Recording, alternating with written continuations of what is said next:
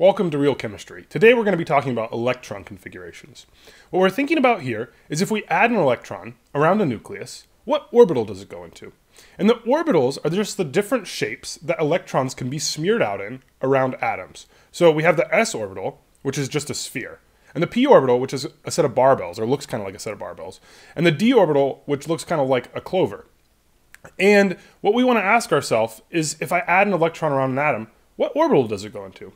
Additionally, there's different sizes for all these orbitals. So you can have a small s orbital or a big s orbital. We call a small s orbital like 1s, or a big s orbital 4s. So those numbers in front of s, p, and d tell you something about the size and energy of that orbital. And so in this episode, we're going to want to talk about where those electrons go first.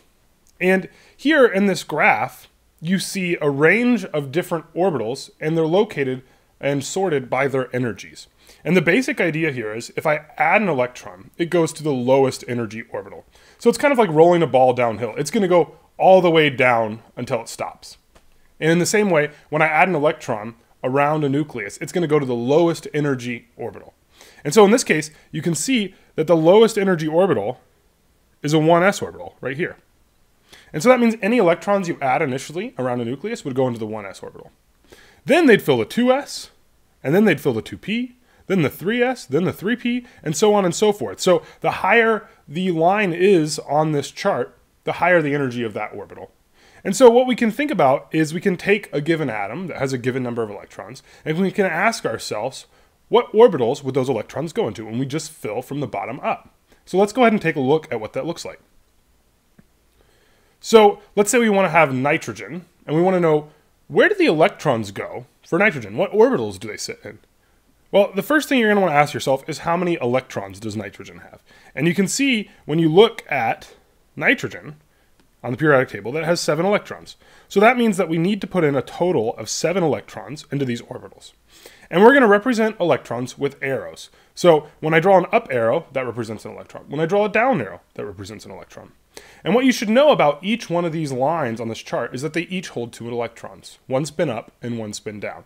So we're going to start at the lowest energy, and we're going to fill those lines with two electrons each. And we're just going to keep filling until we've filled seven electrons into our orbitals. And so the very first place we fill is this 1s, because it's the lowest energy. And we always fill with up electrons before down electrons. So now that's full. That's two electrons.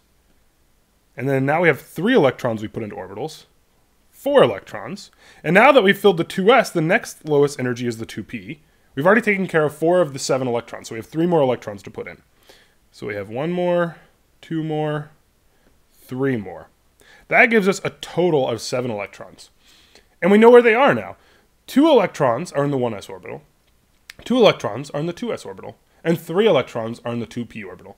Now, every single time you want to tell somebody where your electrons are. You don't want to have to draw, draw this giant graph. So instead what you do is you write out an electron configuration. And the way you do that is first you write the orbital. So the very first electrons are in the 1s orbital. And then above the s, you tell me how many electrons are there. Well, there's two electrons in the 1s orbital. Remember that we put two electrons down here, 1, 2. And so that means we put this 2 up there. The next orbital we see as we continue up in energy is the 2s orbital. So we put 2s, and that fills with two electrons.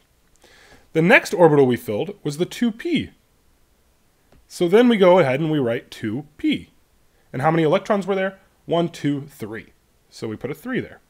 That's an electron configuration. So this is the electron configuration for nitrogen. So if somebody asks you, what's the electron configuration for nitrogen? That's your answer. So really, we just use the graph below as sort of a tool to figure out what the electron configuration is. Turns out there's a really easy, fast way to do this using the periodic table, and we'll talk about that in my next video, which is called the periodic table trick for electron configuration. So check that video out after this one to see a much faster way to do this, because we don't want to have to draw this chart every time. So that's nitrogen. Let's do a few more examples so you can get a handle for how these electron configurations are written. And let's also take a closer look at what we mean when we write 1s2, 2s2, 2p3. So I already said this on the previous slide, but remember that those top numbers, those things that are superscripted after the 1s, 2s, and 2p, tell me the number of electrons in each orbital. Whereas the 1s tells me the name of the orbital. 1s just means the lowest energy, the smallest 1s orbital. 2s means the second lowest energy s orbital, the second biggest s orbital. And we see over on the right here that we have two electrons in our 1s, two electrons in our 2p, and three electrons in our 2p. And that's why we say 1s2, 2s2, 3p3 is our electron configuration. Let's do a few more elements. All right, here we have magnesium. And again, all we're going to do is we're going to think about how many electrons does magnesium have? Well, it has 12. So 12 electrons, that's how many we need to put in. And we already know that we're going to put in 2 in our 1s, 2 in our 2s, a total of 6 in our 2p. That gives us a total of 10 electrons so far. So we have 2 in the 1s, 2 in the 2s, and 6 in the 2p for a total of 10 electrons we put in. That means we need 2 more electrons, and they're going to go into the 3s. That's the next lowest energy. So we just fill from the bottom up.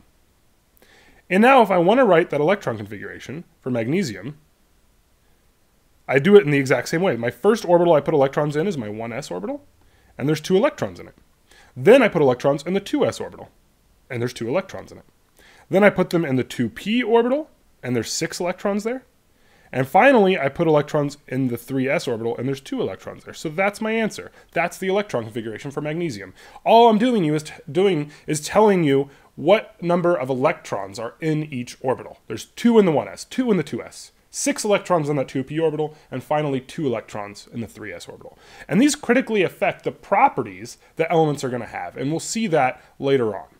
All right, let's do another element. Here we have chromium. So now we have a little bit more of a complicated case. We have 24 electrons, and so that takes a little more time to fill. 24 electrons. And so here the main challenge is just making sure you're counting correctly that you're putting in 24 electrons. And again, we just start from the bottom. We put in the 1s electrons, and then we put in the 2s electrons. That's a total of 4. Then we put in the 2p electrons. And once we do that, we have six electrons. It's always six electrons that go into any p orbital if it's full, two electrons that go into any s orbital if it's full. So now we have a total of 10 electrons. That's our 11th and our 12th. Then we go to the 3p orbital and fill it in with our 13th, 14th, 15th, 16th, 17th, 18th. So now we have 18 total electrons, and we go to the 4s, 19, 20. And then notice that we go to the d orbital. The 3d orbital is lower in energy than the 4p orbital. So that throws people for a loop a little while. After 4s, you go to 3d, and that's a little strange. So right now, we have uh, 8 total electrons in our s orbitals, 12 total electrons in our p orbitals, for a total of 20 electrons. And that means we have 4 more that we need to put in. One, two, three, four. So that is the filled in uh, orbital diagram for chromium, and now we can write our electron configuration. We know that we put two electrons in the 1s for chromium. We put two electrons in the 2s. And in the 2p, we put six electrons. And you can start to kind of see there's a pattern here. And the 3s, we put two electrons. And the 3p, we put six electrons. So now we're through the 3p and we need to put 4s, and there's two electrons there, and we ran out of space, so we'll just write 3d below it. And in the 3d, there's four electrons. So normally you'd write that on the same line. All right, so that's the electron configuration for chromium.